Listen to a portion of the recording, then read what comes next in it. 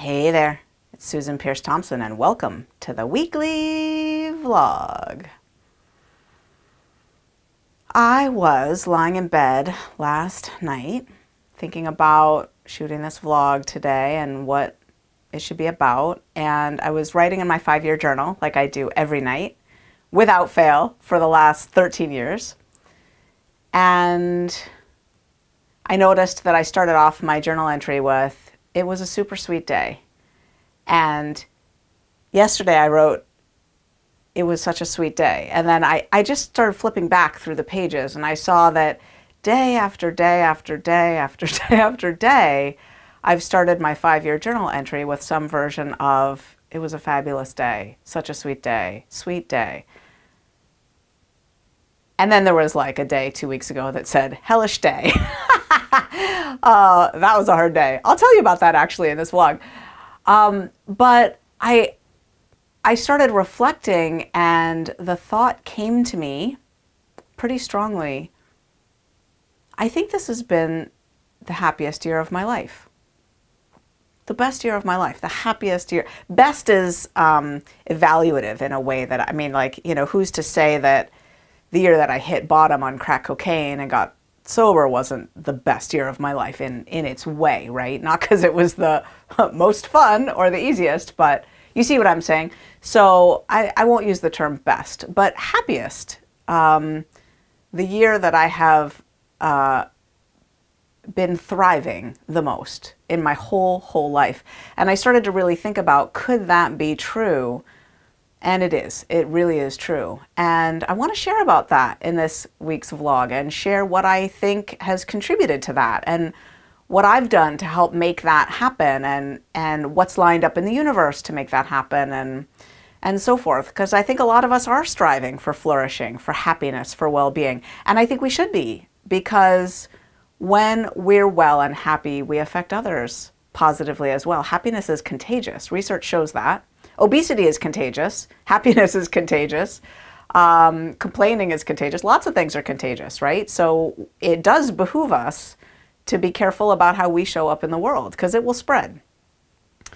So, how do I know it was the happiest year of my life? Well, for one thing, I've been clear for quite a long time that how I'm doing with my food is such a game changer, a linchpin, um, a, a, a, boulder in the swimming pool of my life that without a doubt I can look back on my life and there are very few years, relatively speaking, that would even qualify as potential candidates because they have to be years where my food was immaculately bright all the way through. Because when I'm struggling with my food, I'm just struggling. I really am. Even a little bit struggling with my food. For me, uh, there's kind of no wiggle room. I just, um, when my food is off in the slightest, my focus goes right there and suddenly I'm all about, you know, uh, how I might have overeaten in this restaurant or, you know, or God forbid I'm, you know, actually binging, right? So, so I haven't had any sugar or flour or eaten outside of meals. So the first three lines have been immaculate for like four and a half years now. But it's really just in the last one and a half years that I've cleaned up the fourth bright line, you know, shiny, squeaky, immaculately bright. And the difference is profound in my level of well being and my level of freedom from food and weight obsession, from my peace, my steadiness, my serenity. Actually, I did pick a word for the year you know how we get invited to do that. Sometimes on social media, someone will say, What's your word for 2023? And I did pick a word, and it was steady. I came into 2023 already shiny bright and doing really well. And really, all I just wanted to do was to be steady with that through the year, just steady. And steadiness does not come naturally to me. I'm a lot of great things. steady is not one of them. Uh, yeah, no, not steady. Uh, hanging out with me for any length of time is more like living in the Himalayas with lots of ups and downs than living in the plains of Nebraska. Uh, not so steady, this one. So I just wanted to be steady. And I have been. I've been steady in so many ways, more steady than I can really, um, I don't know, I want to say take credit for, or I, I, it just it feels like a miracle, really, so steady. So the food's been super bright. I mean, I could look back at other years, and I had, I mean, pretty much all of my 30s, I was, I was super bright. Um, but those were hard years in other ways, right? Um, you know, the premature birth of our twins was uh, just rocking, you know, in, in the most profound way. And then having sweet little babies with 16 administrations of medicine to give every day and just, you know, early intervention care and just all the things, right, of micro preemie babies. Um, and uh, yeah, I mean, there were just hard, hard things in the 30s. And then the 40s hit, and Bright Line Eating was born. And those were years of wild professional success and a lot of expansiveness. But uh, pretty quickly, my food got thrown off, and then I was struggling with that, and all of the. It was, I mean, it was a whirlwind. Um, you know, it wasn't, it wasn't a consistent state of high flourishing well-being happiness. There's a lot of peak experiences during those years but yeah nothing that would qualify as like the happiest year of my life. And um, and prior to the 30s i just sort of feel like um, well i was in my food addiction hardcore until i was 28 and um, yeah enough said. Like you know really i didn't get my addiction even close to you know, really under control till I was 28. So, um, I mean, I was thinking maybe my first year of life, actually, my first year of life from birth to one, I think was really sweetly happy. I think. Um, you know, I was just with my mom and my dad. They were hippies, and I was just on their hip, you know, traveling around selling alpaca, um, you know, from San Francisco to Aspen mainly. And, um, and I think it was a really happy year. I think it was, you know. But as I grew up, I I became painfully aware of my lack of social skills, and so my childhood was hard for that reason primarily. And anyway, yeah, I'm just I'm looking back, I'm pretty confident. This is the happiest year of my life. So, I've got three big things I want to tell you about it, like that illustrate um, some of the amazing things from this year and like lessons, deep, deep important lessons that I want to share with you. Um, but I want to say a little bit more. It's not just that my food has been bright, it's that my habits have been really dialed in. This has been a year of pretty incredible structure, pretty incredible structure. And toward the end of the year here, I added in a new layer of structure that actually has rocketed my happiness levels up even higher, which I'll share about. Um, but there's another piece I think that's been foundational for me, which is just a medical piece. I have been on a low dose kind of cocktail of hormone replacement therapy, uh, bioidentical estrogen, progesterone, and testosterone. Um, the progesterone is a pill that I take at night, and the estrogen and testosterone are creams that I, you know, just like a lotion that I rub on my skin, and then some of it absorbs. And um, when I was 46 and I was struggling with really intense moods, my dad said, "Susan, you got to look into this. This is this is menopause." And my periods were irregular, so I was like, "Dad, it's not menopause. That means the periods are starting to get irregular." And he begged me to look into it because his mother, my grandmother, Stella, uh, took her life before I was born. She was 46 and she was going through menopause. And back in 1967, you know, they treated her by locking her in a mental hospital and doping her up with all kinds of things, and she took her life. And uh, my dad knew, you know, Susan, you're of the age, you need to look into this. And sure enough, I had mood swings, and it was really when I stopped sleeping through the night that I looked into it seriously. And this treatment, this cocktail of, of stabilizing hormonal influences that I've been on, seems to really, really, really help. And I've always been someone who struggled with my emotions, struggled with depression, struggled with um, very high highs and very low lows. And the steadiness that I feel now um, it's just remarkable. It's not that anything is masked from me. I don't feel, you know, like the way SSRIs can kind of create a, uh, you know, I'm good, but everything feels blah kind of feel. Oh no, I feel, I feel joy, deep joy filling my heart a lot. And my highs still feel high, my lows are there, but I, I'm just, you know, in the reboot, resume framework, the resume framework, we recognize that life is a sine wave and it's going to cycle up and down and up and down. But the goal is to raise that sine wave up, raise it up so that your overall well being is higher. And when you dip down on the low side, you're nowhere near crashing into the danger and destruction zone of picking up the food. And that's what I feel like this past year has been. It's been that sine wave is way high and not dipping down very far, just a, a pretty gentle ride of ups and downs. And and a level of yeah well-being that I've just never had before. So, three things, three stories I want to tell about it. So the first one is I have been of service again in a way that is making a big difference.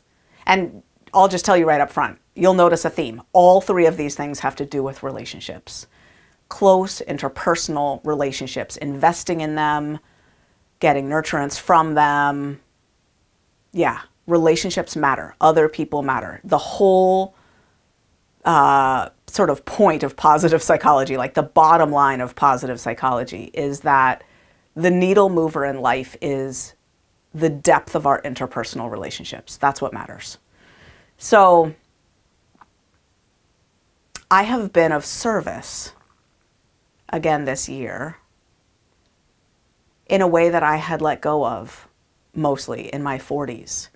And the form of service I'm talking about is sponsoring. It's peer to peer service. And I stopped doing it after Bright Line Eating was born because I didn't have time. I was so busy serving the Bright Line Eating community, serving the masses, serving thousands of people.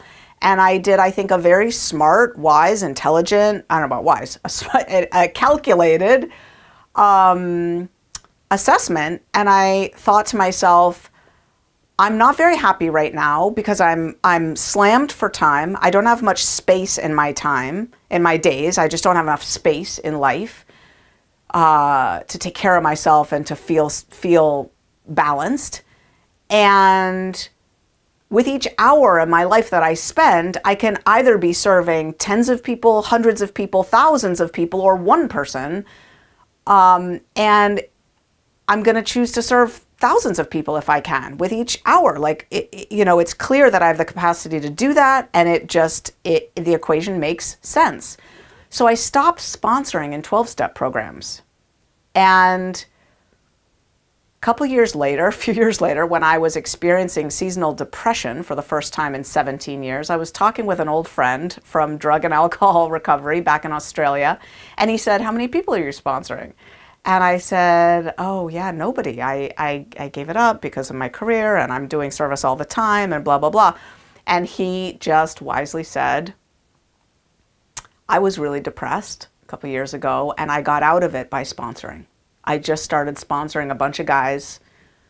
He said he lives in Sydney and he said I start going down to the Friday night meeting where you got to peel them off the ceiling, these newcomers, and I started helping them get clean. And he said it, it got me out of my depression. And so I started sponsoring again and being with people who don't relate to me as Susan Peirce Thompson, who, you know, in rooms where most people don't even know what I do for a living, and it wouldn't even be appropriate for me to mention it. It's just we're not relating to each other on that level. We're recovering addicts, period.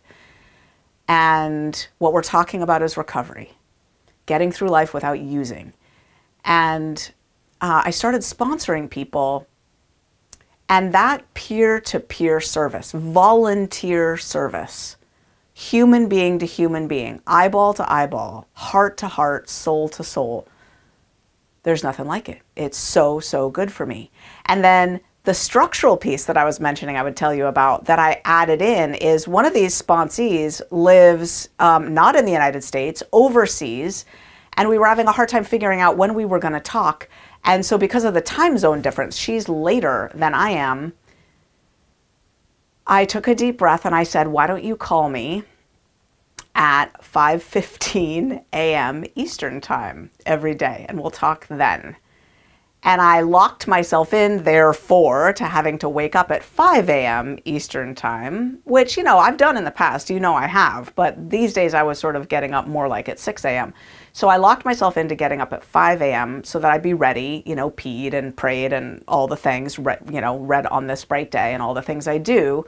Uh, so that I could be ready to talk with her at 5:15 a.m. And here's what I do at that time at 5:15 while I'm on the phone with her. I'm using my light box.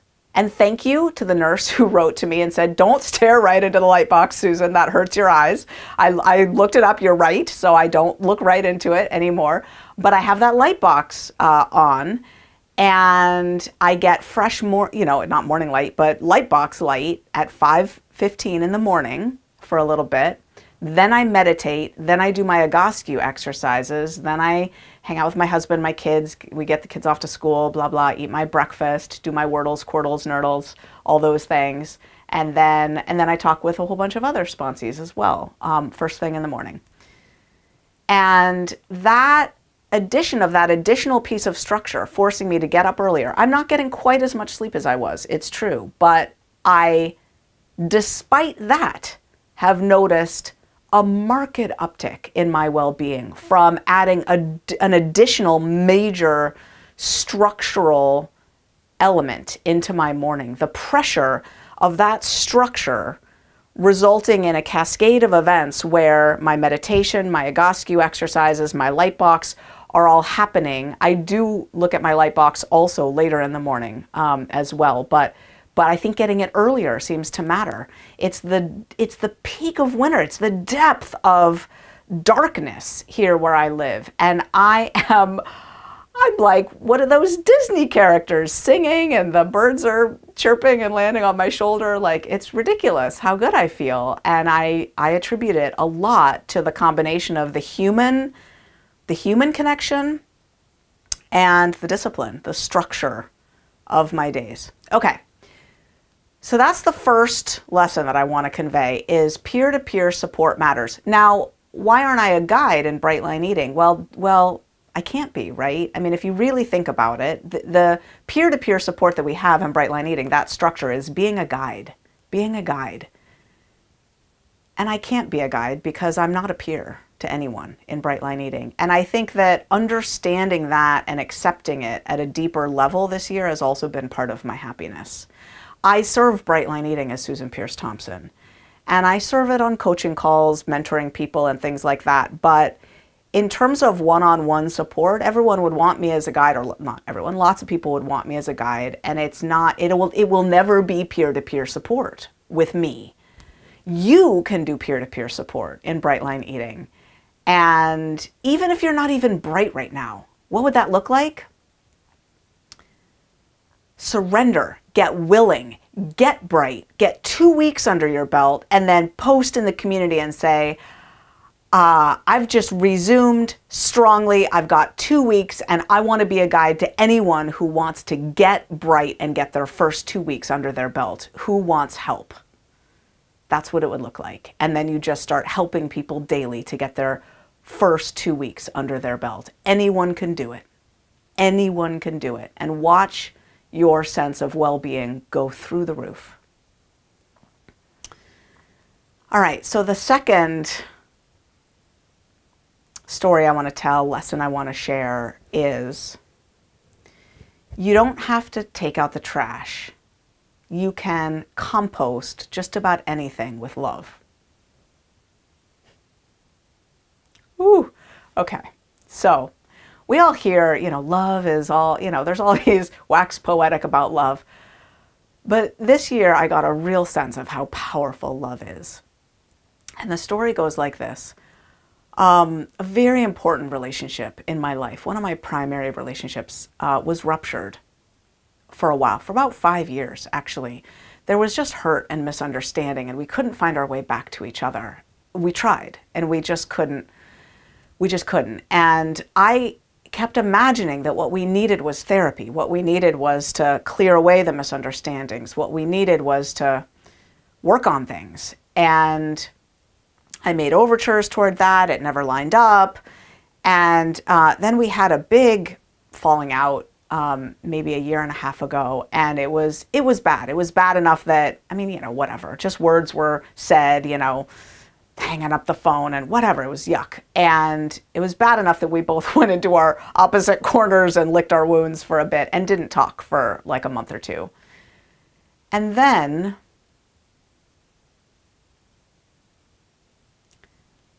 likely as the result of a lot of prayer. I mean, I know I was praying, and I, I know they were praying too, um, for years about this. And I mean, like really deep prayers.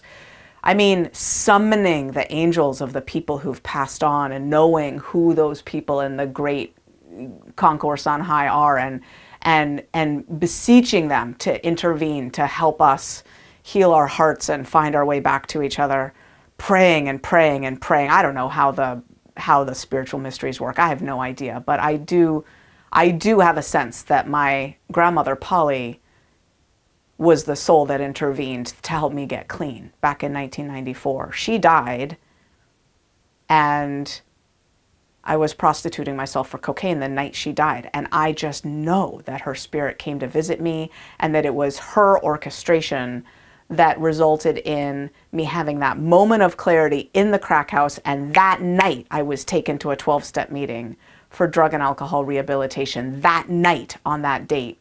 And I was ready to hear the message, and I stopped using.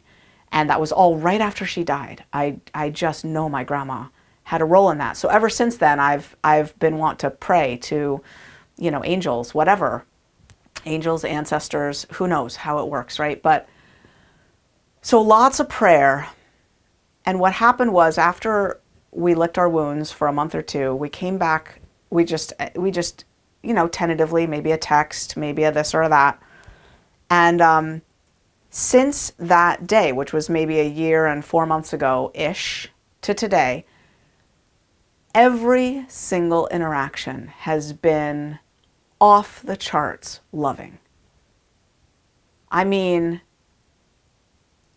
sparkly and grinning and words of care, love, support, affirmation. Not a twinge of a mention of the past.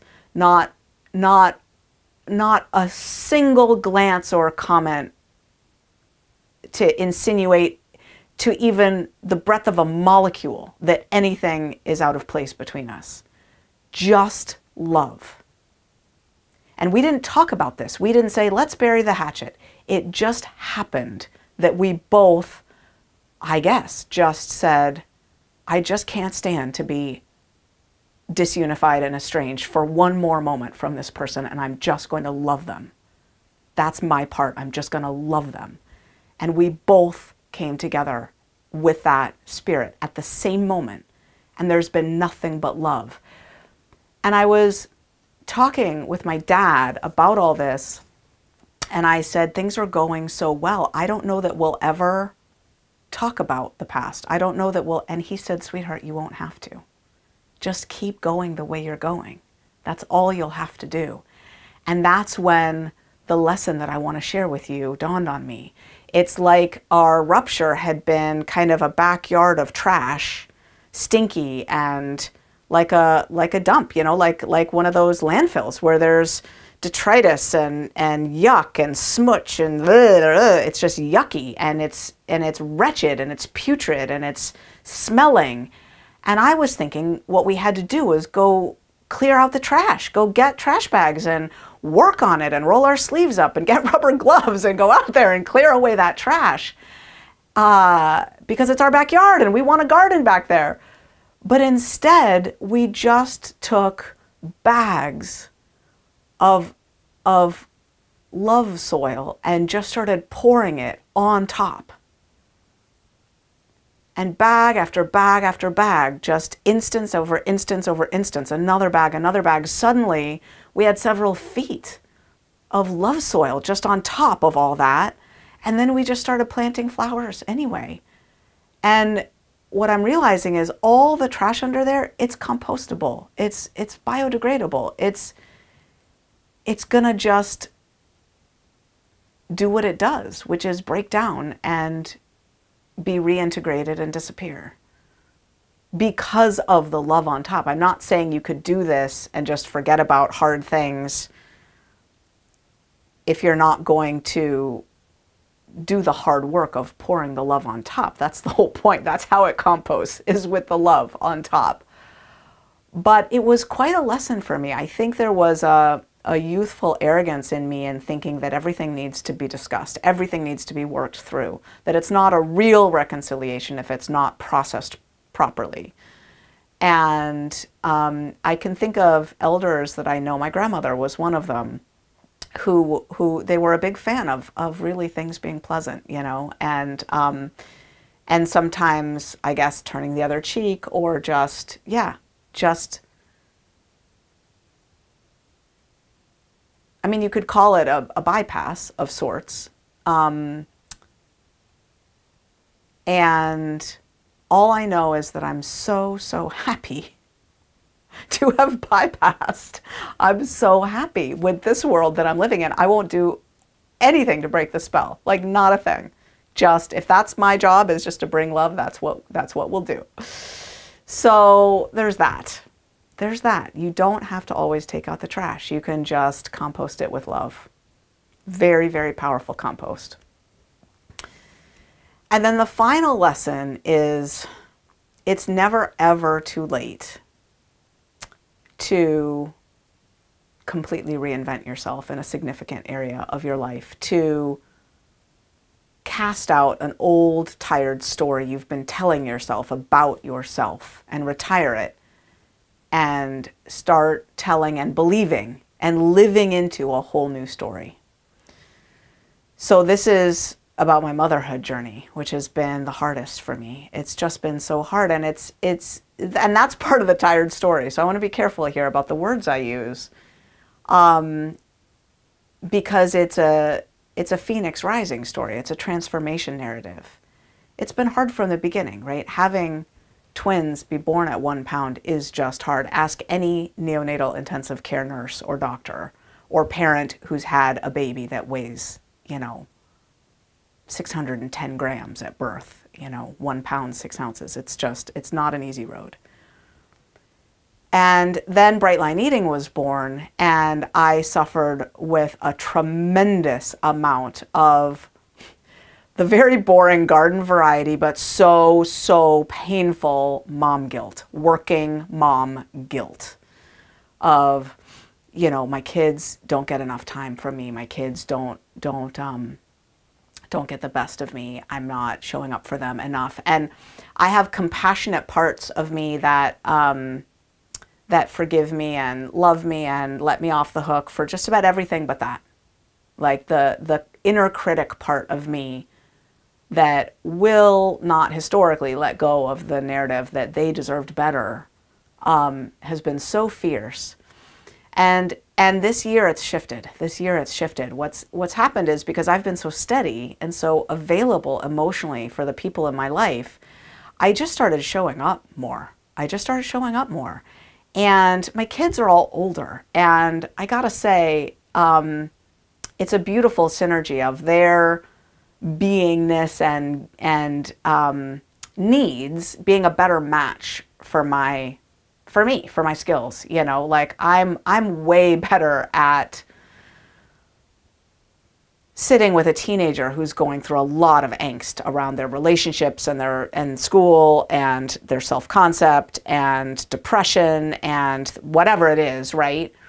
Um, than i am dealing with you know two five-year-olds and a two-year-old who are all screaming because they want the blue sippy cup. And we got three blue sippy cups so that no one would have to scream about the blue sippy cup, but they all for some reason want that blue sippy cup and not the other two. And I'm about to lose it because there's three blue sippy cups.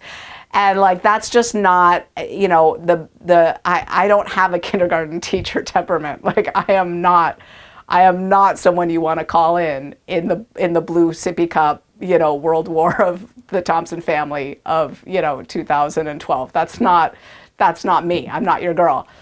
Um, but the teenage the angsty teenagers i can i can deal with. Oh god the blue sippy cup yeah it was a thing. Okay. Um, so I just started showing up for my kids a lot more, and I crafted sometime mid year what I called my four pillars of joy. The four things that I was investing in in my life that were giving me joy, that I wanted my joy to come from. And uh, yeah, I'll share them with you. Here's my four pillars of joy. They stand. I'm bringing these right into 2014. Uh, 2014? 2024. 2024. Okay, number one a thriving marriage. David, you're first. I love you. Number one, a thriving marriage. Number two, micro moments of love with my kids. And I said micro moments because you know they're teenagers. Uh, I get I get hours and days with them sometimes, but uh, micro moments is what I want to make sure to show up for. You know those little moments of being present, those micro moments of love with my kids. Number three is joy in manifesting Bright Line Eating's vision. And number four is a strong, healthy body. So I've been really focusing on my kids, and one of them was just not showing up for class uh, on time. She was showing up to class, just not on time. And she got detention, and then she blew off detention. David was out of town, and I took away her cell phone for the weekend. And uh, if you have a teenager, you know what kind of a move that was on my part to take away a kid's cell phone for the whole weekend when there's no adult in the house but you. It's like it's like asking for um, uh, for a war, right? And I took it away and I stood by it and um, and we just rocked and rolled with it. She had she had no anesthetization. And that that Saturday night, she was going off on me about how I'm a terrible mom and how I just work and how, you know, uh, I don't have any creativity to think of a good consequence. I always just take away her phone and and as she's telling me I'm a terrible mom and I just work, she she she does that. She knows how to. She knows exactly where my hot buttons are, right? And she's trying to make me feel as awful as possible. And I just said I'm not a terrible mom. I'm a really good mom, and I believed it. And I noticed in that moment that I believed it and that she wasn't getting to me. Like it I I was seeing her for the frustrated teenager that she was. And in that moment I could see how much I'd changed. And one of my other kiddos was watching all this come down. And when I woke up at 5 a.m. the next morning, there was a card under my door I guess a thank you note. it's the only stationery, you know, stationery that we got lying around is a box of thank you notes. And I want to read you this card. So this is not the kiddo that that that got detention and blew it off. This is one of my other kiddos. Dear Mama, I know this card may seem kind of random, but it just feels right. I just feel like I need to tell you that I'm so sorry you have to deal with my sister's nonsense. She has no right to treat you that way, nor does anyone else. She has no idea how much you do for us to make our lives great and rarely appreciates your efforts. So this is me giving you the credit you deserve. Because you are more than just a mother. You are the strongest, smartest, bravest, most loving person that has walked this planet. And I am so lucky to have that person as my mother. You have no idea how much I love you. People always say that nothing is stronger than a mother's love. And that is the truest thing that has ever been spoken. Your presence fills my heart and feeds my soul. A world without you, to me, is no world at all. I cannot comprehend how you do all you do, yet can still be a great mother. I would love to spend more time with you before it runs out, no matter how long that time is. I wish your string of life is longer than mine, so I never have to live a moment without you. You are the best mom ever. I love you more than anything.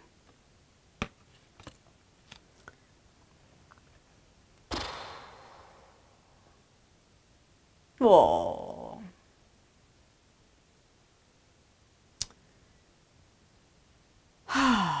and